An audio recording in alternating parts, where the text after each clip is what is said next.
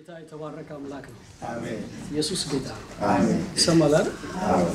አ፣ ጌታ ይመስገን። ዛሬ ከእግዚአብሔር ቃል ስለ ሰባተኛው ቀን ወይም በእግዚአብሔር ስለሆነ እረፍት እንነጋገራለን። ምን አልኩኝ? ሰባተኛው ቀን ጌታ ይመስገን። ይሄ ሰባተኛው ቀን በሰው ቁጥርም አይደለም። ስለዚህ የእግዚአብሔር ሰባተኛ ቀን ነው። አሜን። አሜን። የማን ቀን ነው? የእግዚአብሔር ሰባተኛ ቀን ነው። ወይም ያ በእግዚአብሔር በራሱ በእግዚአብሔር ምን አቆጣጠር። ስለዚህ ስለ ሰው ሰባተኛ ቀን አይደለም የምናወራው፣ ወይም ስለ ሰው ሰባት ቁጥር አይደለም የምናወራው። ግልጽ ነው አይደል? ስለዚህ የእግዚአብሔር ሰባተኛ ቀን አለ። ምንድነው ያ የእግዚአብሔር ሰባተኛ ቀን? ምንድነው ሰባት መጽሐፍ ቅዱስ ስለ ሰባት ነገሮች ወይም ስለ ሰባት ቁጥር ብዙ ቦታ ላይ በተለያየ ቦታ ላይ መንፈሱን ሳይለቅ ሀሳቡን ሳይለቅ ወይም የዛን የሰባተኛውን ቀን ትርጉም ይዘቱን ሳይለቅ በተለያየ መንገድ ስለ ሰባት ቀን እናነባለን በመጽሐፍ ቅዱስ ውስጥ። አንድ ሰው ስለ ሰባተኛው ሰማይ ሲያወራ ታዩ- ታዩታላችሁ። ራእይ ላይ ለሰባቱ አብያተ ክርስቲያናት እንደዚህ ብለህ ጻፍ ይላል። ለሰባቱ አብያተ ክርስቲያናትም የመጣው መልእክት እንደዚህ የሚል ነበር ይላል እና ብዙ ቦታ ላይ ስለዚህ ስለ ሰባተኛው ወይም ስለ ሰባተኛ ቀን ወይም ስለ ሰባት መጽሐፍ ቅዱስ ሲናገር ትሰማላችሁ። አንዳንድ ክፍሎቹን ለማስታወስ ያህል ለምሳሌ ዘፍጥረት ምዕራፍ ሁለት ቁጥር አንድ ላይ በእግዚአብሔር ስም አነባለሁ። ዘፍጥረት ምዕራፍ ሁለት ቁጥር አንድ ላይ ሰማይና ምድርም ሰራዊታቸው ሁሉ ተፈጸሙ። ሰማይና ምድር ሰራዊታቸውም ሁሉ ተፈጸሙ። እግዚአብሔርም የሰራውን ስራ በሰባተኛው ቀን ፈጸመ። በሰባተኛውም ቀን ከስራው ከሰራው ስራ ሁሉ አረፈ። እግዚአብሔርም ሰባተኛውን ቀን ባረከው፣ ቀደሰው። እግዚአብሔርም ሊያደርገው ከፈጠረው ስራ ሁሉ በእርሱ አርፏልና። ምዕራፍ አንድን ዘፍጥረትን ስናነብ የተለያዩ ነገሮችን ሲፈጥር እግዚአብሔር ከዛም በኋላ ደግሞ ምን ይላል? አንደኛው ቀን ሆነ፣ ሁለተኛው ቀን ሆነ። ቀናትን ይቆጥራል ነገሮቹን ከፈጠራቸው በኋላ ምናልባት ይሄ ሰባተኛው ቀን በሰው ቁጥር ሳይሆን በእግዚአብሔር ቁጥር ነው ያልኩበትን አንድ እንትን ላሳያችሁ። ዘፍጥረት ላይ ምዕራፍ አንድ ቁጥር 14 ላይ እግዚአብሔርም አለ ቀንና ሌሊትን ይለዩ ዘንድ ብርሃናትን ከሰማይ በታች ጠፈር ቀንና ሌሊትን ይለዩ ዘንድ ብርሃናት በሰማይ ጠፈር ይሁኑ፣ ለምልክቶችም፣ ለዘመኖችም፣ ለዕለትም፣ ለዓመታትም ይሁኑ፣ በምድር ላይ ያብረሩ ዘንድ በሰማይ ጠፈር ብርሃናት ይሆኑ። እንዲሁም ሆነ። እግዚአብሔርም ሁለት ታላላቅ ብርሃናትን አደረገ። ትልቁም ብርሃን በቀን እንዲሰለጥን፣ ትንሹንም ብርሃን በሌሊት እንዲሰለጥን፣ ከዋክብትንም ደግሞ አደረገ። እግዚአብሔርም በምድር ላይ ያበሩ ዘንድ በሰማይ ጠፈር አኖራቸው፣ በቀንም በሌሊትም እንዲሰለጥኑ ብርሃንና ጨለማንም እንዲለዩ። እግዚአብሔርም ያ መልካም እንደሆነ አየ። ማታም ሆነ ጠዋትም ሆነ ስንተኛ ቀን? አራተኛ ቀን። ዓመታትን፣ ቀናትን፣ ወራትን እንዲለዩ የተፈጠሩት ሁለቱ ብርሃናት በስንተኛው ቀን ነው? ከዛ በፊት ምኖች ነበሩ? ሌሎች ምኖች? ሌሎች ሶስት ቀናቶች ነበሩ። በምን ተቆጠሩ እነዛ ሶስት ቀናቶች ታዲያ? ዓመታትና ዘመናት ወይም ቀንን መቁጠር ሳይጀመር ነው እንዲለዩ ነው። በስንተኛው ቀን የተፈጠሩት? በአራተኛው ቀን። ከዛ በፊት ሌሎች የተፈጠሩ ነገሮች እንደነበሩ ትመለከታላችሁ። አሁን ሰባት ላይ ማነው ምዕራፍ ሁለት ቁጥር አንድ ላይ ግን ምን አለ? ሰማይና ምድርም ሰራዊታቸውም ሁሉ ተፈጸሙ፣ እግዚአብሔርም የሰራውን ስራ በሰባተኛው ቀን ፈጸመ። በሰባተኛውም ቀን ከሰራው ስራ ሁሉ አረፈ። እግዚአብሔርም ሰባተኛውን ቀን ምን አለው? ባረከው። ሰው ሰባተኛው ቀን ምን የተባለ ነው? የተባረከ ነው። ለምን? እግዚአብሔርም ሰባተኛውን ቀን ባረከው፣ ቀደሰው። እግዚአብሔር ሊያደርገው ከፈጠረው ስራ ሁሉ በእርሱ አርፏልና። በምን አርፏል? በሰባተኛው ቀን። ስለዚህ ያ ቀን ምንድን ነው? የተባረከ ነው። ልዩ ቀን ነው ማለት ነው። ነው አይደለም? ሌላ ቦታ ላይ ሊያሳያችሁ ዘዳግም ምዕራፍ 15 ቁጥር አንድ ላይ ዘዳግም ምዕራፍ 15 ቁጥር 1 ላይ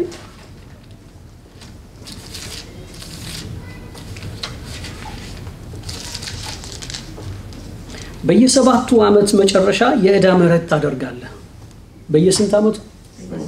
በየስድስት፣ በየአምስት፣ በየአራት አይደለም፣ በየስንት በየሰባት ዓመቱ መጨረሻ የእዳ ምሕረት ታደርጋለህ። ለምሕረቱም የሚገባ ወግ ይህ ነው። አበዳሪ ሁሉ ለባንጀራው ያበደረውን ይተዋል የእግዚአብሔር ይቅርታ ታውጇልና። ያበደረውን ከባልንጀራው ወይም ከወንድሙ አይሻ። በስንተኛው ዓመት? በሰባተኛው ዓመት። ስለዚህ አንድ ባለዕዳ ሰባተኛው ባበደረ በሰባተኛው ዓመት መጨረሻ ምን ማድረግ አለበት?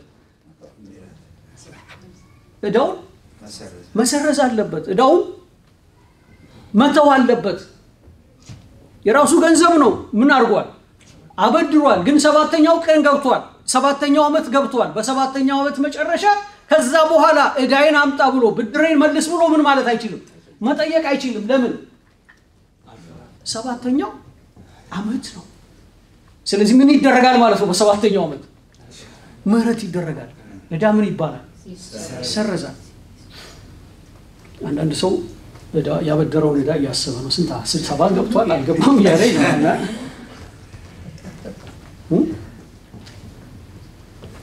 እዩ መጀመሪያ ላይ ምዕራፍ ሁለት ላይ ምን አየን? እግዚአብሔር በሰባተኛው ቀን ስራውን ሁሉ ጨረሰና ምን አደረገው? ባረከው። አይደለም ከስራው ሁሉ ምን አለበት? አረፈበት። አሁን እግዚአብሔር በምን ውስጥ ያለው? በምንኛው ቀን ውስጥ? በሰባተኛው ቀን ውስጥ ነው እግዚአብሔር። ማንም ወደዚህ ቀን ሲመጣ በምን ውስጥ ይሆናል ማለት ነው? በእረፍት ውስጥ ይሆናል። በዚያ ስራ የለም። በስንተኛው ቀን? በሰባተኛው ቀን ስራ የለም። እግዚአብሔር ስራውን ሁሉ ምን አድርጓል? ጨርሷልና ያንን ቀን ባረከው። ምንድን ነህ ብሎ አንተ ልዩ ነህ ብሎ ባረከው ቀኑ። እግዚአብሔርም ወደ ሰባተኛው ቀን ወይም ወደዚህ ወደ ተባረከው ቀን ውስጥ ገባ። ወደ ምኑ? ወደ እረፍቱ ገባ። አሁን ስለ ሰው ሰባተኛ ቀን አይደለም እያወራን ያለ ነው። የእግዚአብሔር ሰባተኛ ቀን ነው። እግዚአብሔር ምን ያደረገበት? እዚህ ዘዳግም ላይ ደግሞ ምን አየን? ኖ በሰባተኛው ዓመት ማንም ለወንድሙ ያበደረውን ምን አይበል አይሻ ሰው ምህረት ይደረግበታል። በምን በሰባተኛው ዓመት። ሌላ ነገር ላሳያችሁ። የማቴዎስ ወንጌል ምዕራፍ 18 ቁጥር 21 ላይ ከይቅርታና ከምሕረት ጋር የተያያዘ ነገር ነው። ታስታውሳላችሁ አይደል? ጴጥሮስ ኢየሱስን ወንድሜ ቢበድለኝ ስንት ጊዜ ይቅር ልበለው? ሰባት ጊዜ ነውን አለ። ስንት ነው እሱ? አራት መቶ ዘጠና አካባቢ እንደዛ ማለቱ ነው።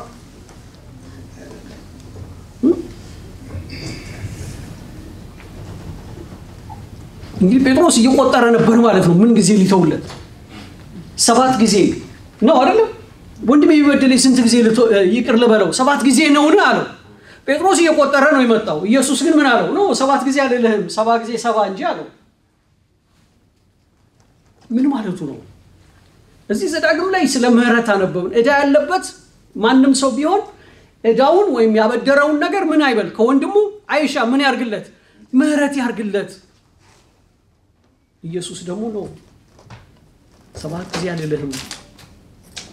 ጴጥሮስ ጋር ቁጥር ነበር ማለት ነው አይደል? አንድ ሌላ ነገር እንጨምር። ሁለተኛ ነገሥት ምዕራፍ አምስት ቁጥር አስር ላይ ንዕማንን ታገኙታላችሁ። ንዕማን የሚባል ሰው ትዝ ይላችኋል። የጦር ጀነራል ነው። የጦር ዋጊ ነው። በጣም ትልቅ ሰው ነው። ንጉሱ በጣም የሚወደው ሰው ነው።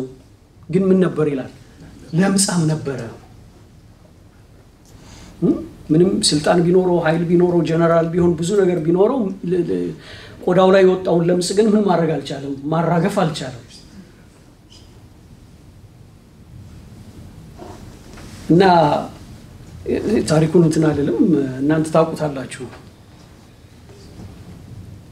እና ወደ ነቢዩ መጥቶ ምን ላድርግ ይለዋል። ነቢዩ አንድ ነገር ነው ያለው፣ ሂድና በዮርዳኖስ ውሃ ምን በል ታጠብ፣ አንተም ምን ትሆናለህ? ንጹህ ትሆናለህ፣ እንደ ሕፃን ልጅ ትሆናለህ፣ ንጹህ ቆዳህም ይጠራልሃል አለ። ሄደህ ታጠብ ብቻ አይደለም ያለው፣ አንድ ነገር ነግሮታል። ምን አለው? ሰባት ጊዜ ብቅ ጥልቅ በላ በሰባተኛው ምን ትሆናለህ? ምንድን ነው የሰባት ታዲያ? ምንድን ነው ይሄ ሰባት? ነማን ያለውም እንደዛ ነው። ለውሃ ለውሃማ አገሬ ሌላ ውሃ አለ አይደለ? ሄጄ ምን ማድረግ ይችላል?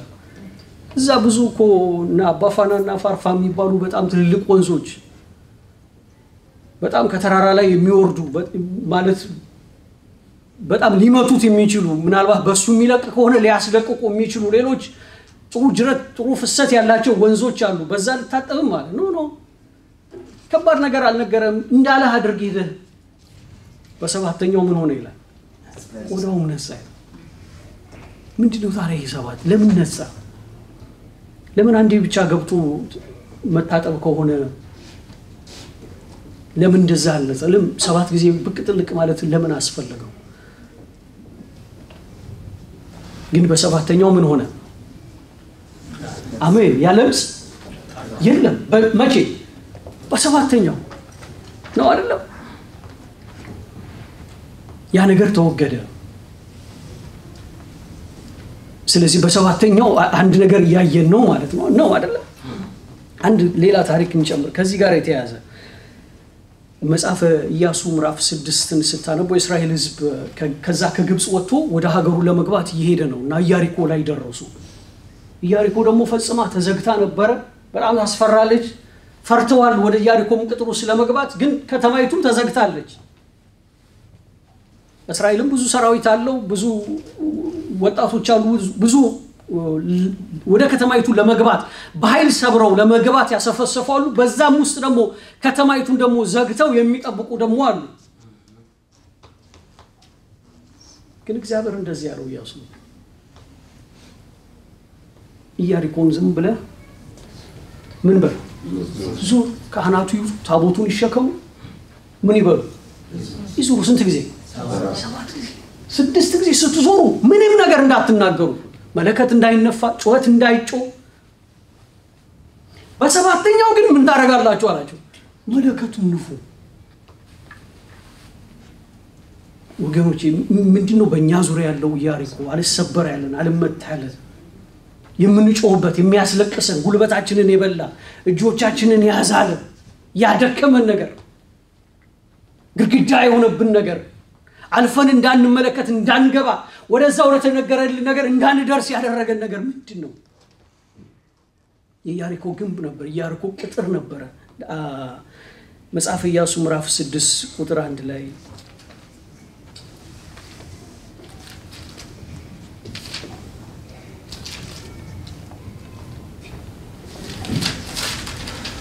ኢያሪኮን ከእስራኤል ልጆች የተነሳ ፈጽማ ተዘግታ ነበር። ወደ እርሷ የሚገባ ከእርሷም የሚወጣ አልነበረም። እግዚአብሔርም ኢያሱን አለው፣ ተመልከት ኢያሪኮንና ንጉሷን ጽኗን ኃያልዋንና ኃያሏን በእጅህ ሰጥቼሃለሁ። ሰልፈኞቻችሁ ሁሉ ከተማይቱን አንድ ጊዜ ይዙሯት፣ እንዲሁም ስድስት ቀን አድርጉ። ሰባትም ካህናት ሰባት ቀንደ መለከት በታቦቱ ፊት ይሸከሙ። በሰባተኛውም ቀን ከተማይቱን ሰባት ጊዜ ዙሩ። ካህናቱን ቀንደ መለከቱን ይንፉ። ቀንደ መለከቱን ባለማቋረጥ ሲነፋ የመለከቱን ድምፅ ስትሰሙ ሕዝቡ ሁሉ ታላቅ ጩኸት ይጩህ፣ የከተማይቱን ቅጥር ይወድቃል፣ ሕዝቡ ሁሉ እያንዳንዱ አቅንቶ ይገባባታል። የሆነውም እንደዚሁ ነበር። በሰባተኛው ቅጥሩ ምን አለ? ፈረሰ። ሰባት ካህናት ከፊት ወጡ። ሰባት ካህናት ከፊት ወጡ። ቀንደ መለከቱን የያዙ ስድስት ቀን ዞሩት ኢያሪኮ። በሰባተኛው ቀን ግን የቀንደ መለከቱ የጩኸቱ ድምፅ ተሰማ። ምንድን ነው? ምንድን ነው? ምን አይነት የጦር ስልት ነው? የጦር ስትራቴጂ ነው ይሄ?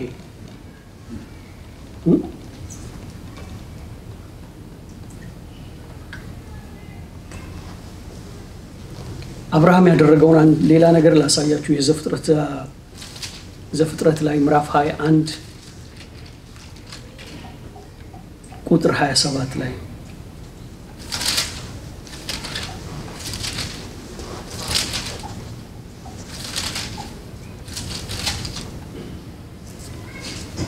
አቤሜሌክም ምዕራፍ ዘፍጥረት 21 ቁጥር 27 ከ26 ጀምሮ ይላሉ። አቤሜሌክም አለ ይህን ነገር ያደረገውን አላወክምን? አንተም ደግሞ ምንም አልነገርከኝም፣ እኔም ከዛሬ በቀር አልሰማውም። አብርሃምም በጎችንና ላሞችን አምጥቶ ለአቤሜሌክ ሰጠው። ሁለቱም ቃል ኪዳን አደረጉ። አብርሃምም ሰባት ቄቦች በጎችን ለብቻቸው ለብቻቸው አቆመ። አቤሜሌክም አብርሃምን ለብቻቸው ያቆምካቸው እነዚህ ሰባት ቄቦች በጎች ምንድናቸው? አለው። እርሱም እኔ ይህችን የውሃ ጉድጓድ እንደቆፈርኩ ምስክር የሆንልኝ ዘንድ እነዚህን ሰባት ቄቦች በጎች ከእጄ ትወስዳለህ አለው። ስለዚህ የዚያን ስፍራ ስምም ቤርሳቤ ብሎ ጠራው። በአቤሜሌክና በአብርሃም መካከል የነበረው ፍትጊያ የነበረውን ትግል የነበረውን ችግር ታነባላችሁ ከዛ በፊት። አሁን ግን አብርሃም ከአቤሜሌክ ጋር ሰላም ማውረድ ፈልጓል። አቤሜሌክም ከአብርሃም ጋር ቃል ኪዳን ማድረግ ፈልጓል። ስለዚህ መጋጨቱ እንዲቆም አንድ ነን እያለው ነው አሁን አብርሃም። ከዚህ አላልፍም አንተም ከዛ አትለፍ እየተባባሉ ነው፣ ቃል ኪዳን እየተገባቡ ነው። አብርሃም ግን አንድ ነገር አደረገ። ሰባት በጎችን በጎች አምጥቶ መጀመሪያ ምን አደረገው? ሰጠው፣ ውሰድ አለው። ሌሎች ሰባት በጎችን ግን አምጥቶ አቆመና ስምንት አይደሉም ስድስት አይደሉም ስንት ናቸው? ሰባት ናቸው። አቤሜሌክም በጣም ተገርሟል። ለምንድን ነው እነዚህን ሰባት በጎች ምን ያረካቸው? ለብቻቸው የለያቸው? እነዚህ ሰባት በጎች ምን ይሆኑኛል? ምስክር ይሆኑኝ። አሁን አብርሃም የቃል ኪዳኑን በጎች ምን እያደረገ ነው ማለት ነው? እነዚህ በጎች ምንድን ናቸው? በአንተና በእኔ መካከል ምን እንደገባ እርቅ እንዳወረድን፣ ሰላም እንዳወረድን ይሄ የተቆፈረውም ውሃ የኔ መሆኑን አንተም ማመንህን እኔም ያንተን እንደማልነካ እነዚህ ምኖች ስንት በጎች እነዚህ ሰባት በጎች ምስክር ይሆኑን ቃል ኪዳን ይሆኑን አለ። መጽሐፍ ቅዱስን በሆኑ ቤተሰቦች መካከል ስለተፈጠረ ጠብ የሚናገር የሆነ የታሪክ መጽሐፍ አድርገን የምንወስደው ከሆነ እውነት ነው፣ ሰባት በጎች ብቻ ይታዩናል። ነገር ግን መጽሐፉ ስለኛም ስለ ትምህርታችንም እንደተጻፈልን ከተረዳ ነው። ግን ትምህርቱ ከምን ያልፋል? ከበግ ያልፋል ወገኖች፣ ከቁጥርም ያልፋል ነው አይደል? ነው ወይ?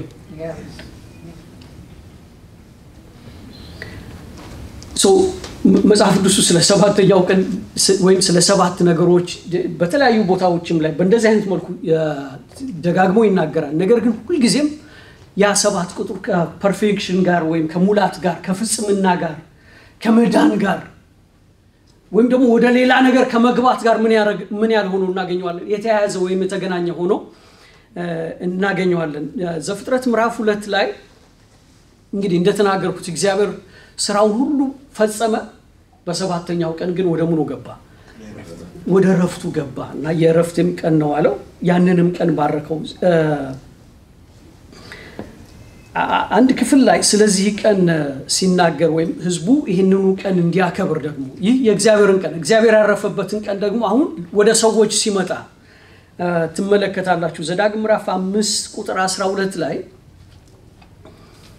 ዘዳግም ምዕራፍ አምስት ቁጥር 12 ላይ እንደዚህ ይላል፣ እግዚአብሔር አምላክህ እንዳዘዘህ የሰንበትን ቀን ትቀድሰው ዘንድ ጠብቅ። ምን እንዳለ እንዳዘዘ ምን ትለው ዘንድ የሰንበትን ቀን ምን ትለው ዘንድ ትቀድሰው ዘንድ የሰንበትን ቀን ወይም ሰባተኛውን ቀን መጀመሪያ ማን ቀደሰው? ዘፍጥረት ሁለት ላይ ስናነበው እግዚአብሔር ምን አደረገው? ባረከው። አሁን ይህኑ ቀን ደግሞ ሰው እንዲቀድሰው እንዲባርከው ደግሞ እግዚአብሔር ፈልጓል። ምን በማድረግ እግዚአብሔር አምላክ እንዳዘዘ የሰንበትን ቀን ትቀድሰው ዘንድ ጠብቅ። ስድስት ቀን ስራ፣ ተግባርህን ሁሉ አድርግ። ሰባተኛው ቀን ግን ለእግዚአብሔር አምላክህ ሰንበት ነው።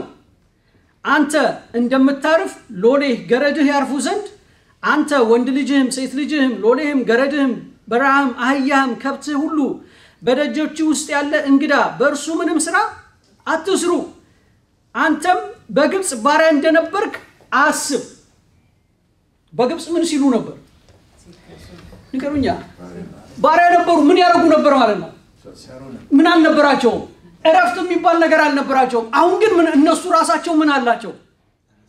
no no ምን አላቸው? ባሪያ ያላቸው እነሱ ራሳቸው።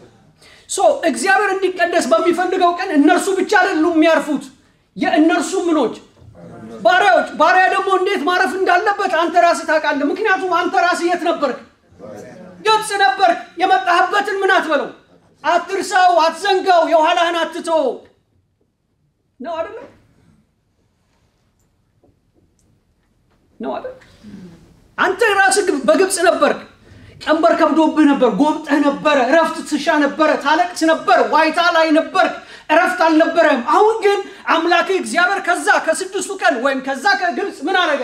አወጣህ። ምን አገኘህ? አሁን አንተ እረፍት አገኘህ። እረፍት ማግኘት ብቻ አይደለም፣ የአንተን ስራ ሌሎች እንዲሰሩልህ ምን አረካቸው?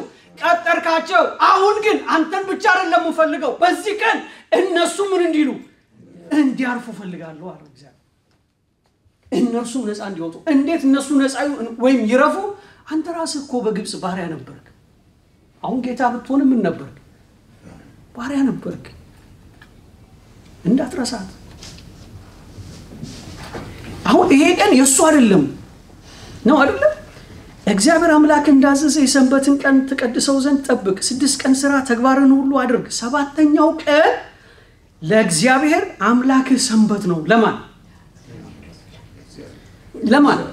ለእግዚአብሔር። የሰውየው አይደለም ወይም የሰው አይደለም። የማን ነው? እነሱ የሚያርፉት አሁን የዛን ቀን እነሱ ስራቸውን ጨርሰው አይደለም። እነሱ ስለጨረሱ አይደለም ወደ ሰባተኛው ቀን የሚመጡት። የእነርሱ ሰባተኛ ቀን አይደለም። ያ ቀን የማን ቀን ነው? የእግዚአብሔር ቀን ነው። የእግዚአብሔር ሰንበት ነው። እግዚአብሔር ነው ስራውን የጨረሰው። እሱማ ምን አለው? እሱማ ምን አለው? ስራውን አልጨረሰም። ለዚህ እኮ ነው ምን ይለዋል? ስድስት ቀን ስራህን ስራ። ከሰባተኛው ቀን በኋላ ተመልሶ ወዴት ይሄዳል? ወደ ስራው ይገባል። በሰባተኛው ቀን ግን ምን አትበል፣ አትስራ። እግዚአብሔር ግን ወደ ሰባተኛው ቀን ከገባ በኋላ ለስራ ወጣ አይልም መጽሐፉ። አሜን። እግዚአብሔር በሙሉስ ነው ምን አርጓል? ከሞ ምን አርጓል? ስራውን ጨርሷል። ይህ ሰውዬ አሁን የሚለማመደው የማንን እረፍት ነው? የእግዚአብሔርን እረፍት ነው ወገኖች፣ የእግዚአብሔርን እረፍት የእግዚአብሔርን ምን እግዚአብሔር ምን እንዳለ እንዳረፈ እግዚአብሔር እንዳረፈ ይሄ ስድስቱ ቀን ውስጥ ያለው ሰው ስድስቱ ቀን ውስጥ ያለው ሰው ወደ ሰባተኛው ወደ እግዚአብሔር ረፍት እየመጣ ምን ያደርጋል? አሁን በእረፍቱ በሱ ረፍት አሁን ባገኘው ረፍት ራሱ የሚያስበው የማንን ረፍት ነው? የእግዚአብሔርን ረፍት ነው። የእግዚአብሔርን ረፍት ነው። ይህን ቀን ደግሞ እንደዚሁ አይደለም የተነገረው። በምንድን ነው የተሰጠው? በሕግ ነው። በሕግ ነው። ምን ትለው ዘንድ የእሱ አይደለም። የእሱማ ቢሆን የራሱ ቢሆን ምን ያደርገው ነበር? ይንከባከበው ነበር፣ ይጠብቀው ነበር አይደለ? ግን የእሱ አይደለም። የእሱ ስላልሆነ እግዚአብሔር ምን አበጀለት? ሕግ አበጀለት። ምን ትለው ዘንድ ትጠብቀው ዘንድ ተጠንቀቅ። ለምን? የአምላክህ የእግዚአብሔር ሰንበት ነውና። ሰው ሰው የተሰጠው ምን ያልሆነ ነገር ነው ማለት ነው። የእርሱ ያልሆነ ነገር እርሱማ ምን አለን? ስራውን ምን አላለም? አልጨረሰም። ስራውን አልፈጸመም። ስድስት ቀን ስራ አለው። ስድስት ቀን ትሰራለህ። በሰባተኛው ቀን ግን ያንተ አይደለም። የማን ቀን ነው? የእግዚአብሔር የአምላክህ ሰንበት ስለሆነ በዛ ቀን ምን ትላለህ? ታርፋለህ። አንተ ብቻ አይደለህም፣ ልጆችህም ከብቶችህም ምን ይላሉ? የዛን ቀን ያርፋሉ። ይኸው ሰው ይህንንም ቀን ከቀን ጋር ከሚያውቀው ቅዳሜ ጋር ስላገናኘው ቅዳሜ ቀን ቤቱ ቁጭ ይላል። ምንም አይሰራም። ምንም አይሰራም። ከምን ጋር አገናኝቶታል? ከቅዳሜ ጋር አገናኝቶታል። ዛሬም እኮ ሰው ይታገላል። እሑድ ነው ሰንበት፣ ቅዳሜ ነው እያለ ይጣላል። ቤተ ክርስቲያንም ተመስርቷል። በምን በዚህ ከቀኑ ጋር በተያያዘ ነው አይደል? ዘጸአት ምዕራፍ 31 ቁጥር 12 ላይ ዘጸአት ምዕራፍ 31 ቁጥር 12 ላይ እንደዚህ ይላል። እግዚአብሔር ሙሴን እንዲህ ሲል ተናገረው፣ ለእስራኤል ልጆች እንዲህ ብለህ ንገራቸው፣ እኔ የምቀድሳችሁ እግዚአብሔር እንደሆንኩ ታውቁ ዘንድ በእኔ በእናንተ ዘንድ ለልጅ ልጆቻችሁ ምልክት ነውና ሰንበቴዎቼን ፈጽመው ጠብቁ። ስለዚህ ለእናንተ ቅዱስ ነውና ሰንበትን ጠብቁ። የሚያረክሰው ሰው ሁሉ ፈጽሞ ይገደል። ስራንም በእርሱ የሰራ ሰው ሁሉ ከሕዝቡ መካከል ተለይቶ ይጥፋ። ስድስት ቀን ስራን ስራ፣ ሰባተኛው ቀን ግን ለእግዚአብሔር የተቀደሰ የእረፍት ሰንበት ነው። በሰንበት ቀን የሚሰራ ሁሉ ፈጽሞ ይገደል። ስለዚህ በሰንበት ቀን የሚሰራ ምን ይበል? ፈጽሞ ምን ይበል? ለምን?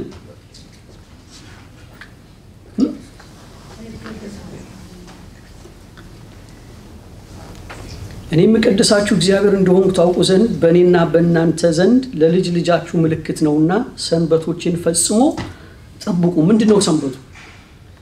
በእኔና በእናንተ መካከል ምንድን ነው? ምልክት ነው አይደል?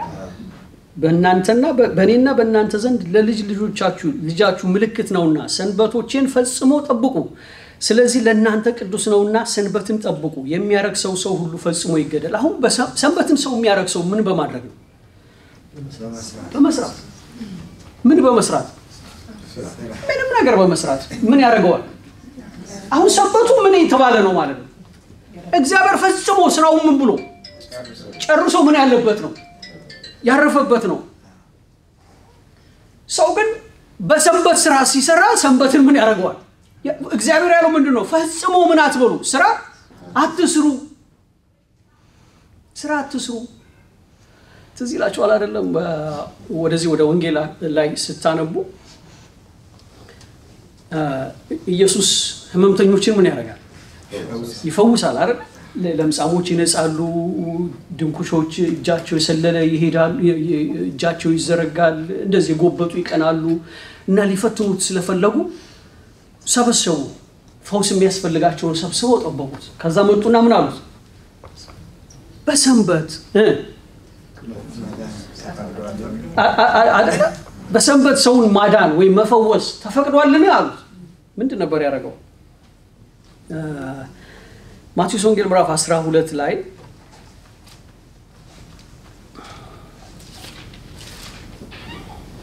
የማቴዎስ ወንጌል ምዕራፍ 12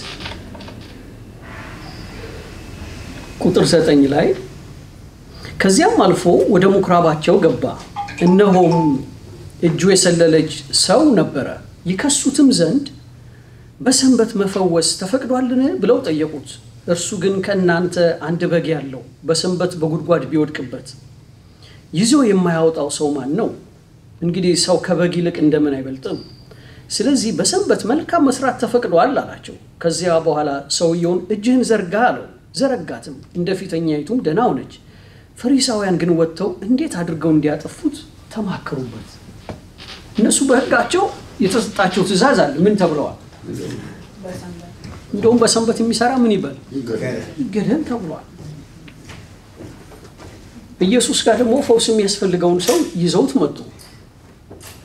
በሰንበት እኮ ምንድን ነው ሰው ማድረግ ያለበት? ማረፍ። እጁ የሰለለው ሰውዬ ደግሞ ምን አላለም? አላረፈም። እጁ ሰልሏል። ስለዚህ የሚያርፈው እሱ እጁን ሲያገኝ ነው። የጎደለበትን ነገር ሲያገኝ እረፍቱ ምን የሚሆንለት ሙሉ የሚሆንበት። ነገ እኮ ስራ ያለበትን ሰውዬ ዛሬ ረፍ ብትለው አይምሮ ራሱ አያልፍም። ምናልባት ሰውነቱ ያርፍ ይሆናል። ነገ የሆነ ቀጠሮ ያለበት ሰው ዛሬ ተኛ ግድ የለም ብትለው አይተኛም ነው አይደል? አይምሮ ምን እንዳለ ነው እንደባዘነ ነው። ግን ኢየሱስ ምን አደረገ? በሰንበት ምን ማድረግ መልካም መስራት ተፈቅዷል። ደስ የሚል ምሳሌ ነው የነገራቸው። ከእናንተ መካከል አንዱ በጉ የራሱ የሆነ በጉ የሆነ ጉድጓድ ውስጥ ቢገባበት አይ ሰንበት ነውና ብሎ ይተዋል ወይ? ኢየሱስ ጌታ ነው። አይተውም ማለት ምን ያደርገዋል? ምክንያቱም በጉ የሱ ነው። ግን ምንድን ነው ሰንበት ታዲያ? አሁን እነሱን በህግ ምን በሉ አላቸው። በህጉ መሰረት ሰንበትን ምን አድርጎ አክብሩ፣ ማንም ምን አይስራበት። ሌላ ሰው ደግሞ ላሳያችሁ። ጳውሎስ የሚባል ቆላሲስ ላይ ራሱ መልሶ እንደዚህ ይላቸዋል። የቆላሲስ መልእክት ላይ ምዕራፍ ሁለት ቁጥር 16 ላይ እንግዲህ በመብል በመጠጥ ስለ በዓል ስለ ወር መባቻ ወይም ስለ ሰንበት ማንም አይፍረድባችሁ። እነዚህ ሊመጡ ያሉት ነገሮች ጥላ ናቸውና አካሉ ግን የክርስቶስ ነው። ትህትናንና የመላእክትን አምልኮ እየወደደ ባላየውም ያለ ፈቃድ እየገባ በስጋዊም አእምሮ በከንቱ እየታበየ ማንም አይፍረድባችሁ። እንደዚህ ያለ ሰው ራስ ወደሆነው አይጠጋም። ከእርሱ አካል ሁሉ በጅማትና በማሰሪያ ምግብን እየተቀበለ እየተጋጠመም እግዚአብሔር በሚሰጠው ማደግ ያድጋል። ከዓለማዊው ከመጀመሪያ ትምህርት ርቃችሁ ከክርስቶስ ጋር ከሞታችሁ እንደ ሰው ስርዓትና ትምህርት አትያዝ፣ አትቅመስ፣ አትንካ ለሚሉ ትእዛዛት በዓለም እንደምትኖሩ ስለምን ትገዛላችሁ? እነዚህ ሁሉ በመደረግ ሊጠፉ ተወስነዋልና ይህ እንደ ገዛ ፈቃድ በማምለክና በትህትና ስጋንም በመጨቆን ጥበብ ያለው ይመስላል። ነገር ግን ስጋ ያለ ልክ እንዳይጠግብ ለመከልከል ምንም አይጠቅምም። እንደዚህ አይነት ሰው አለ። ምን አይነት ሰው ነው? አታላይ ነው፣ አጭበርባሪ ነው። እንደዚህ አይነት ሰው መንፈሳዊ አይደለም። ነገር ግን ምንድን ነው አለ? ምን ያለበት ይመስላል?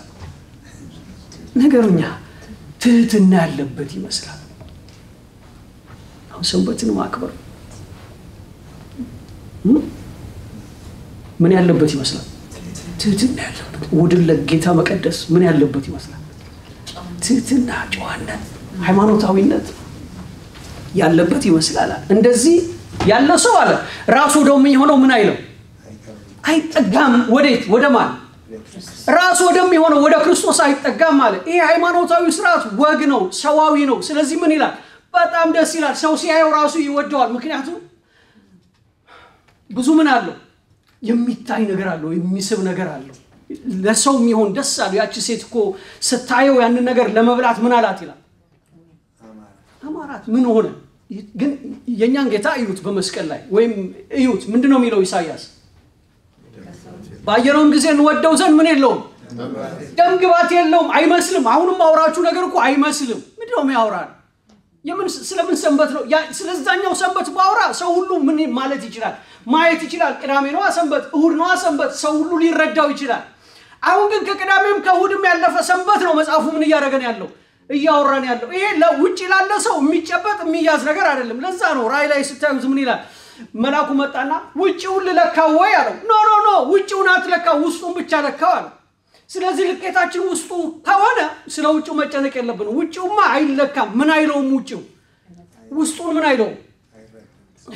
ውስጡን ምን አይለውም? አይረዳውም። ውስጡን አይገባውም። ለዚህ ነው ለፍጥረታዊ ሰው የእግዚአብሔርን ነገር መንገር ምንድን ነው ይላል። ለምን ለፍጥረታዊ ሰው የእግዚአብሔርን ነገር መንገር ሞኝነት ነው። አሁን እያየን ነው እንግዲህ ባነበብነው ክፍል ላይ ስለ ሰንበት ሲናገር እግዚአብሔር ነው ያለው። ምን አለ? ሰንበቴን የማያከብር ይህንን ቀኖችን የማያከብር ምልክት ነው አለ ለልጅ ልጆቻችሁ ሁሉ እንኳን እናንተ ከብቶቻችሁ ሁሉ ይህን ቀን ያክብሩት አላቸው። ነው አይደለም? አሁን ግን ጳውሎስ ምን አለ? ማንም ስለ ወር መባቻ፣ ስለ ሰንበት፣ ስለ መብል ምን አይበልባችሁ። ገና እኮ ነው። አሁንም እኮ ሸኮና የተሰነጠቀ ይበላል አይበላም፣ የአሳማ ስጋ ይበላል አይበላም እያልን እኮ ምን እያደረግን ነው? እየፈረድን ነው። ጳውሎስ ግን ቆሞ ምን አለ? ማንም ምን አይበልባችሁ ስለማን አሁን እየተነጋገርንባት ስላለችው ሰንበት ወይም ሰባተኛው ቀን እናንሳት። ማንም ስለ ሰባተኛው ቀን ወይም ስለ ሰንበት ምን አይበልባችሁ። እንግዲህ የሚፈረድብን የነበረው የሚፈረድባቸው የነበሩት ምን በማድረጋቸው ነው? በሰንበት ምን ስላረጉ? ስራ ስለሰሩ። ከእናንተ መካከል እኮ ተለይቶ ምን ይበል ምን ይበል ነው የተባለው? ይወገር፣ ይገደል፣ ይለይ። አሁን ጳውሎስ ደግሞ ምን አለ? ማንም ስለ መብል ስለ መጠጥ ወይም ስለ ወር መባቻ ምን አይበልባችሁ አይፍረድባችሁ። አሁን ስለ መብል ስለ መጠጥ ሲል ወይም ስለ ጠላ፣ ስለ ጠጅ፣ ስለ አረቄ፣ ስለ ምናምን እያለ አይደለም መጽሐፉ አይደል ነው አይደለም። ጳውሎስ ጠጡ እያለ አይደለም እኮ አሁን አረቄ ጠጡ እንትን በሉ እያለ አይደለም። የአረቄ ወንጌል አይደለም እየነገረን ያለው። ግን ያስፈርድ የነበረ መጠጥ አለ፣ ያስፈርድ የነበረ መብል አለ። አሁን ግን ትዝ ይላችኋል ጴጥሮስ በሕጉ መሰረት እሱ አይሁዳዊ ነው። ስለዚህ ስርዓት አለው፣ የሚበላ አለው፣ የማይበላ አለው አደለ። ግን አንድ ቀን ተመስጦ መጣበት። ተርቦ ምግብ ለመብላት እየጠበቀ እያለ ተመስጦ መጣበትና ከሰማይ የሆነ በሸማ የተጠቀለለ ምግብ ምን አለለት ወረደለት። ጴጥሮስ ምን አለው? ተነስና አርደህ ብላ ነው የመጣለት ቃል። ከዛ ጴጥሮስ ምግቡን ሲያየው ምንም አይለው ነው የማይበላው። በሕጉ ምን ተብሏል? አትብላ አትብላ ተብሏል። ጴጥሮስ ምን? ለሃይማኖቱ ቆራጥ ታማኝ ስለነበረ ምን አለ? ምንም እንኳ ከሰማይ የመጣለት ቢሆንም አርዶ ለመብላት አንገራገር። በፍጹም አላረገውም አለ፣ አልበላም አለ። ጌታ ግን ምን አለው? እግዚአብሔር ቀደሰውን አንተ ምን አትበለው፣ አታርክሰው። ከዛ ጴጥሮስ ገብቶታል፣ ይሄ ነገር ስለምን እንዳልሆነ፣ ስለ አሳማው እንዳልሆነ ገብቶታል። ስለ አሳማው እንዳልሆነ ጴጥሮስ ገብቶታል። ከዛ ምን ማድረግ ጀመረ? ይሄ ነገር ምን ይሆን እያለ ማሰላሰል ጀመረ። አሜን። እግዚአብሔር ስለ በሬዎች አይገደውም። ስለዚህ መጽሐፋችን ስለ በሬ አያወራም። እግዚአብሔር ስለ በግ አይገደውም። ስለዚህ መጽሐፋችንም ስለ በጎች አያወራም። ስለዚህ ወገኖች ስለ በጎች፣ ስለ በሬዎች ስታነቡ በሬና እንትን እየሳለን ቁጭ ማለት የለብንም። ስለ ሌላ ነገር አሁን ጴጥሮስ ማሰላሰያ ጊዜው ደረሰ። ምን ይሆን ሲል ሰዎች መጡና ቤቱን አንኳኩ ነው አይደለም? ከዛ ምን አሉ? አሁን ያሳየው ያ የነገርኩ እሱ ነውና ተቀበር አሉ። በሩን ከፍቶ ሲያየው የመጣው ሰውዬ አይሁዳዊ አይደለም። ምን ያለ አይደለም፣ ሸኮረው ምን ያለ ነው፣ የተዘጋ ነው። ታዲያ ጴጥሮስ በምን ሰይፍ ነው አንገቱን ቀልቶት አውሬነቱን ወይም ያ የማይበላውን ነገር የሚያወጣለት? ትዝ ይላችኋል። ኢየሱስ ሲያዝ ጴጥሮስ ምን አደረገ? ሁለቱ ደቀ መዛሙርት ሰገባቸውን ምን ሊያደርጉ ነበር? ከመሆኑ ሰይፍን ወደ ምን መልስ ሰው እንዲያወጣው የሚፈለገው ሌላ ምን አለ? ሰይፍ አለ። ሰው ያን ሰውዬ ወደ ቤቱ አስገባው። ሰውየውም ምን አደረገ? ጌታን አመነ ይላል መጽሐፍ። የትኛው ያ በሸማ ተጠቅልሎ መጥቶ የነበረው ያ የማይበላው አሁን ምን ሆነ? የሚበላው ነው ወገኖች ነው አይደል? ነው እኮ አይደል? ኢየሱስ በገሊላ ተገኝቶ የወይን ጠጅ አሁን እኛም እሱን ስለጠላ እየሰበክ ነው ኢየሱስ ራሱ እኮ የወይን ጠጅ ሰጥቶናል። መጠጣት ከፈልግ ዝም ብለህ ጠጣ ወገን። ግዴታ እኮ በጥቅስ መታከክ የለበትም ማለት መጠጥ ሰው የፈለገውን ነገር በጥቅስ ምን ማድረግ የለበትም ማስታከክ የለበትም። እንተነስና አርደ ብላ አለ። ጴጥሮስ ግን አሳማ በልቶ አያውቅም፣ የተከለከለ ነገር አላውቅም አለ። አሁን ጳውሎስ ደግሞ ምን? እያየ ነው ባለው ነው ክፍል እንግዲህ በመብል ወይም በመጠጥ ወይም ስለ በዓል ወይም ስለ ወር መባቻ ወይም ስለ ሰንበት ማንም አይፍረድባችሁ። ለምን? አንድ የተረዳው ነገር አለ። እነዚህ ሊመጡ ያሉት ነገሮች ጥላ ናቸውና፣ ስለዚህ ሰንበቱ ምንድን ነው ማለት ነው? እነዚህ ከተባሉት ውስጥ አንዱ ነው አይደል? እነዚህ ሊመጡ ያሉት ነገሮች ምንድን ናቸው? ጥላ ናቸው። ታዲያ የሰንበት ጥላነቱ ስለምንድን ነው? ያ ሰባተኛው ቀን ምን የተባለው በእግዚአብሔር ምን የተባለው የተባረከው ያ ቀን ጥላነቱ ምንድን ነው? ያ ሰው ዛሬም ሰንበትን እያከበረ ነው፣ ቅዳሜን እያከበረ ነው። ምኑን እያከበረ ነው ማለት ነው? በጥላው ውስጥ ነው ማለት ነው። እያከበረ ያለው ደግሞ ስለ ራሱ አይደለም። በምን ስለታዘዘ ነው? በሕግ ስለታዘዘ ነው። የማን ሰንበት ስለተባለ? የእግዚአብሔር ሰንበት ስለተባለ አሁን ጳውሎስ ከሱ ወጥቶ ምን እያለ ነው? ስለ ሌላ ነገር እያወራ ነው። ምን አለ? እነዚህ ሊመጡ ያሉት ነገሮች ምንድን ናቸው? ጥላ ናቸው። አሁን ሰንበቱን እንዲሁ በካልቾ ብሎ አላባረረውም። አንድ ነገር ተረድቷል። ያ ሰንበት ሊመጣ ላለው ነገር ምንድን ነው? ጥላ ነው አለና ጥላነቱ ደግሞ ስለ ምንድን ነው አለ? አካሉ ግን ማን ነው አለ? ክርስቶስ ነው አለ። ታዲያ ሰንበት ስለማን የሚያወራ ነበር ማለት ነው? ያ ሰባተኛ ቀን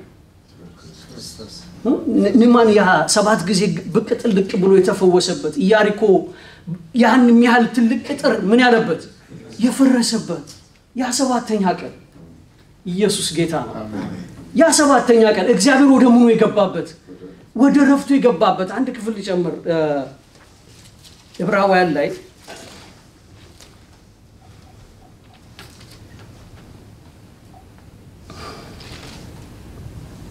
ዕብራውያን ምዕራፍ ሶስት ቁጥር አራት ጀምሬ ያነባለሁ።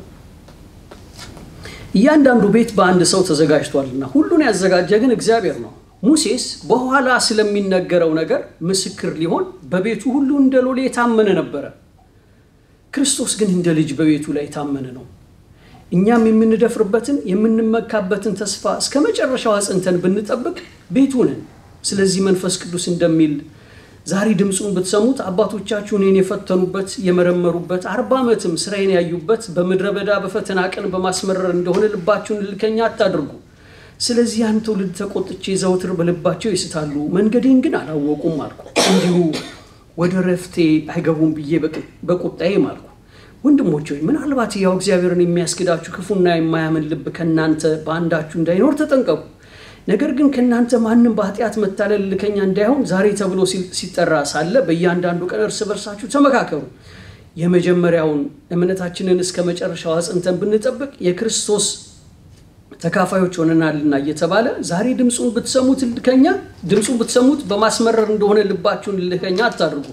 ሰምተው ያስመረሩት እነማን ነበሩ? በሙሴ ተመርተው ከግብፅ የወጡ ሁሉ አይደሉምን? አርባ ዓመት የተቆጣባቸው እነማን ነበሩ? ሬሳቸው በምድረ በዳ የወደቀ ኃጢአትን ያደረጉት እነርሱ አይደሉምን? ካልታዘዙትም በቀር ወደ ረፍቱ እንዳይገቡ የማለባቸው እነማን ነበሩ? ባለማመናቸው ጠንቅ ሊገቡ እንዳልተቻላቸው እናያለንና። ኢየሱስ ጌታ ነው። ሙሴ እዩ ስለምን የተዘጋጀ ነው?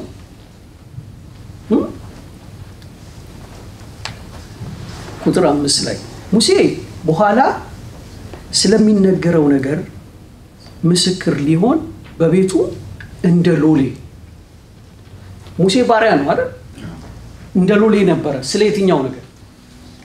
በኋላ ስለሚነገረው ነገር ነው አይደል? ስለዚህ አገልጋይ ነው ማለት ነው ሙሴ።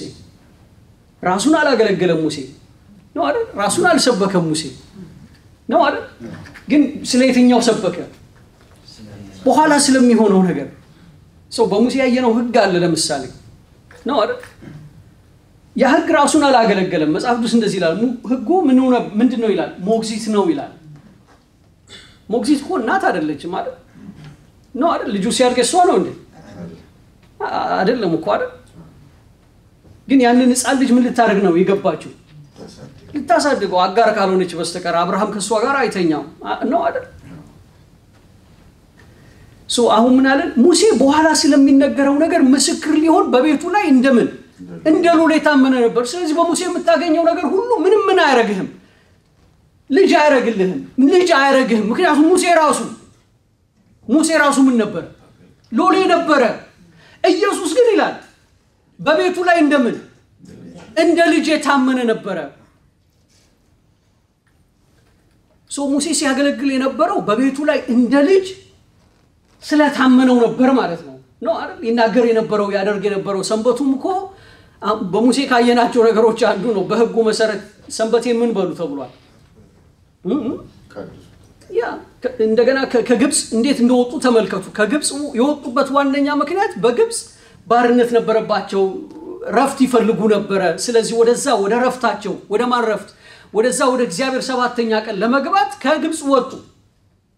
ግን ብዙዎቹ ምን አላረጉ ነው አይደለም ወደ ምን ያልገቡም ይላል በቁጣ የማልኩባቸው ስለዚህ የብዙዎቹ ሬሳ በየት ወደቀ በፍጹም ምን አላረጉም ማለት ነው አላረፉም እረፍትን አላገኙም ወይም ወደ የትኛው ቀን አልገቡም ወደ ሰባተኛው ቀን አውሬው ሲመጣ ስንት ቁጥር ነው ተብለናል በፍጹም ሰባት አይሆንም ማለት ምንም እንኳን ስራው ዓለም ከተጀመረ ጀምሮ ቢፈጸምም እኔ ግን ይላል እግዚአብሔር ወደ ቁጣ ወደ ረፍቴ ምን አይሉም አይገቡም ብዬ ምን አልኩ ማልኩ። አሁን ግን እዩ ይሄ ቁጣ እንዳያገኘን የመሐላው ልጅ መካከል ሆኖ ገባ። አሜን። የምኑ ልጅ? የመሐላው ልጅ። ያኔ እኮ በመካከል የገባው ምኑ ነበረ? ህጉ ነበረ። ሰው ደግሞ ህጉን ጠብቆ ወደ ረፍቱ ምን ማድረግ አልቻለም፣ መግባት አልቻለም። ህጉን መጠበቅ አልቻለም። አሁን ግን እግዚአብሔር ሌላ ኪዳን አመጣ። አሜን አሜን። ሌላ ኪዳን አመጣ። በዛኛውማ ምን ማለት አልተቻለም፣ መግባት አልተቻለም። እግዚአብሔር ምን አለ? ወደ ረፍቴ አይገቡም ብዬ ምን አልኩ? በቁጣዬ ማልኩ አለ። እነሱማ ደከሙ፣ ሰሩ፣ ምን ሊያደርጉ ወደ ረፍቱ ሊገቡ፣ ነገር ግን አልሆነላቸውም። ምክንያቱም በመካከል የነበረው ምንድን ነው? ህጉ ነው። ህጉ ደግሞ የሰውን ኢፈርት ይጠይቃል። ሰው ደግሞ ያንን ምን ማድረግ አልቻለም። ከኔ ጋር ናቸው። አሁን ግን እግዚአብሔር አንድ ነገር አደረገ። ለዚህ ነው ጳውሎስ ቆላሴስ ላይ አሁን አለ። በጣም ደስ እያለው ይመስለኛል ጳውሎስ። ምክንያቱም እሱ ራሱ ምን ነበረ ያንን የመብሉን የመጠጡን አትንካ፣ አትያዝ፣ አትቅመስ ምናምን የሚለውን ከገማልያል ተምሮ ምን ይል ነበር? ይጠብቅና ያስጠብቅ የነበረ ሰው ነው። አሁን ግን ያው ጳውሎስ ያው ጳውሎስ ሌላ መካከለኛ ስላገኘ ኢየሱስ ጌታ ነው። ሌላ መካከለኛ ሌላ መሰላል ስለተዘረጋበት ስለተዘረጋለት ምን የሚልበት ወደዛ ወደ ሰባተኛው ቀን የሚያስገባው መሰላል እንደተዘረጋለት ስለተረዳ በእርሱ ህይወት ሰማይና ምድር ስለተገናኙ በእርሱ ህይወት እግዚአብሔር ላይ ሳይሆን እዚህ ስለሆነለት ኢየሱስ ጌታ ነው። ወደ እግዚአብሔር መግባት እንደሆነለት ስላወቀ አሁን በድፍረት ወደ ምን መግባት እንችላለን ይላል። ወደ ረፍቱ ወገኖቼ፣ ወደ ምኑ? ወደ ረፍቱ። አንተን ረፍት የምትገባው የሚለን ብዙ ነገር ይኖራል። ምን የሚለን የሚስበን በምድረ በዳ ሊያስቀረን የሚፈልግ በዛ በግብፅ ከግብፅ ወጥተንም በዛ በበረሃው ምን እንድንል እንድንቀር የሚያድ እግሮቻችንን የሚይዘን ብዙ ነገር ይኖራል። ስለዚህ እሱን ለማስለቀቅ ሁልጊዜ እናደርጋለን፣ እንታገላለን። ግን አንድ ነገር አለ። የምንገባው ወደ ሰው ረፍት አይደለም ወገኖች፣ ወደ ማን ረፍት ነው? ወደ እግዚአብሔር ረፍት ነው። ያኔ የዳንኤል ረፍት ወይም የወጆ ረፍት ወይም የዓለም ረፍት ወይም የአንዱ ረፍት የአንተ ረፍት እንዴት ነው ሲባል ረፍቱን በራሱ አይደለም የሚለካው። በሰራው ስራ፣ በገነባው ነገር፣ ባደረገው መልካም ነገር፣ በሰራው ጥሩ ነገር፣ ባደረገው መጽዋት፣ ባደረገው ነገር አይደለም የሚለካው። በሰራው ጾም፣ በጸሎቱ፣ በምኑ አይደለም የሚለካው። እረፍቱ የእርሱ አይደለም። ወደ ረፍቱም የገባው በእርሱ አይደለም። ኢየሱስ ጌታ ነው። ያኔ ነው የማንን ረፍት sense የምናደርገው? የእግዚአብሔርን ረፍት ወገኖች። እግዚአብሔር እንዴት ነው ያረፈው? እናንተ ልታርፉ ባለበት ልክ ወደ ምንም አይደለም እግዚአብሔር የጠራ ነው ወገኖች። ወደ ፓስተራችንም ልክ ረፍት አይደለም። ወደ ሆነ ቤተ ክርስቲያንም ረፍት አይደለም።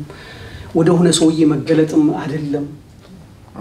እነዛማ ምን አለን ቆላሲስ ላይ ወደ ራሱ ምን አይሉ አይጠጉም፣ አይጠጉም። እውነት ነው። በዛ ካለን አትያዝ የሚል ነገር አለ፣ አትንካ የሚል አለ፣ አትቅመስ አለ እና ምን እንደሚል በዓለም እንደምትኖሩ ስለምን ለእርሱ ምን ትላላችሁ?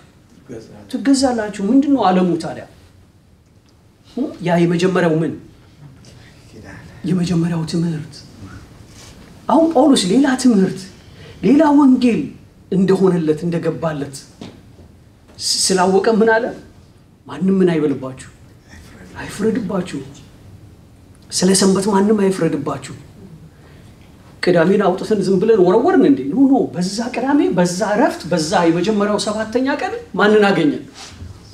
ንገሩኛ። ከቅዳሜም ከእሑድም ከሰኞም ያለፈውን እረፍት አገኘን። የማንን እረፍት? የእግዚአብሔርን እረፍት፣ የክርስቶስን እረፍት ነው አይደለም? ማቴዎስ ወንጌል ላይ እንደዚህ ይላል፣ ጸሐፍትና ፈሪሳውያን በሙሴ ወንበር ምን ብለዋል? ተቀምጠዋል። በሙሴ ወንበር ሲቀመጡ ምን የሚያደርጉ ይመስላችኋል? ምን ያደርጋሉ? ህጉን ምን ያደርጋሉ? በሰው ትከሻ ላይ ይጭናሉ። ሰው እያንዳንዱ ሰው ምን ነበር ማለት ነው? እያንዳንዱ ሰው ምን አድርጓል? ተሸክሟል። እያንዳንዱ ሰው የሚሄደው ጎብጦ ነው፣ ጎባጣ ነበር ማለት ነው። ምን ብሎታል? ይህ ሰው ምን የለውም፣ እረፍት የለውም። ይህን ሰውዬ ግን መቼ መቼ ልክ በሰባተኛው ቀን ቅዳሜ ቀን ምን ያደርጉታል? ተቀመጡ ይሉታል፣ ያሳርፉታል። የሚያርፈውም የሚቀመጠው ምን እንዳለው ነው እንደከበደው ነው እንደተሸከመ ነው። ነው አይደለም? ማቴዎስ ላይ እንደዛ ይላል እኮ በዘርፋፋ ቀሚስ ለብሰው እንደዚህ ሆነው በሙሴ ወንበር ላይ ምን ብለዋል? ተቀምጠዋል። ከባድና አስቸጋሪ ሸክምም እየተበተው በሰው ትከሻ ላይ ምን ያደርጋሉ? ይጭናሉ። ኢየሱስ ግን ምን አለ? ወደ እኔ ኑ። ቀንበሬ ምን?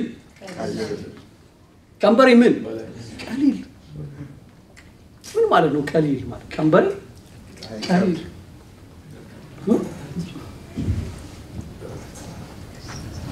ኢየሱስ ጌታ ነው። በዚህ ወንጌል ማንም ምን አናገኝም፣ ጎባጣ አናገኝም። በዚህ ወንጌል ሁሉም ምን ያለ ነው፣ ቀጥ ብሎ የሚሄደው ለምን? ቀንበሩ ምን ስለሆነ ቀሊል ቀሊል። እናንተስ የምትሰጡት ለሌላው የምትሰጡት ሸክም ምንድን ነው? ትዝ ይላቸዋል። በኢየሩሳሌም ተሰብስበው ምን አሉ ሐዋርያቱ ተሰብስበው እኛና መንፈስ ቅዱስ አዘናል አሉ። በሰው ላይ ምን ላለመጫ ከባድና አስቸጋሪ ሸክም ምን እንዳለን እንዳንተበትብ ለምን? እግዚአብሔር ምኑን ሰብሮታልና። ነው አይደለም የሚሉት? እሱን ላንበብ ይቅርታ ይሄን ላንበብ እያልኩኝ ብዙ ሰዓት ወስጃለሁ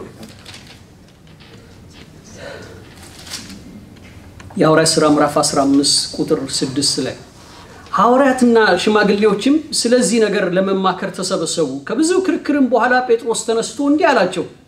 ወንድሞች ሆይ አሕዛብ ከአፌ ወንጌልን ቃል ሰምተው ያምኑ ዘንድ እግዚአብሔር በመጀመሪያው ዘመን ከእናንተ እኔን እንደመረጠኝ እናንተ ታውቃላችሁ። ልብንም የሚያውቅ አምላክ ለእኛ ደግሞ እንደሰጠን መንፈስ ቅዱስን በመስጠት መሰከረላቸው። ልባቸውንም በእምነት ሲያነጻ በእኛና በእነርሱ መካከል አንዳች አልለየም። እንግዲህ አባቶቻችን እኛ ልንሸከመው እንግዲህ አባቶቻችንና እኛ ልንሸከመው ያልቻልነውን ቀንበር በደቀ መዛሙርት ጫንቃ ላይ በመጫን እግዚአብሔርን አሁን ስለምን ትፈታተኑታላችሁ? እኛና አባቶቻችን ምን አልናል ነው አልቻልነውም። ምኑን ያን ቀንበር ያን ቀንበር እኛና አባቶቻችን አልቻልነውም። ለምን አሁን መልሰን ደግሞ እሱኑ ምን እንላለን? እንጭናለን። ምንም የሚጭኑት ነገር እኮ አልነበረ ማለት ምንድን ነው የሚጭኑት? ህጋቸው እኛ ግን አሁን እግዚአብሔር ራሱ ምን አድርጎልናል አለ ያን ቀንበር ሰብሮታል። ቀንበር ተሰብሮልናል። እኛ ነፃ ወጥተናል። ሌላው ላይ ደግሞ ምን አንል ያ ሌላ ጊዜ እንጨርሳለን። ይህንን እንጸልይ።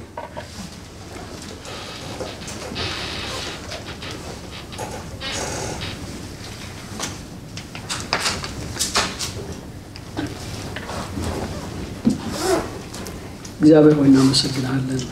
ስለ ሁሉ ክብር እንሰጥሃለን።